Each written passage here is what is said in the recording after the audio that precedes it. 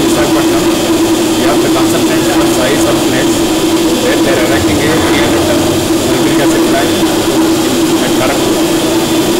This turbine is for their generation of using waste steam. I came here to witness the testing of the 2.9 megawatts turbine. So when I have visited this, already the turbine is heated up Agreement 200500 RPM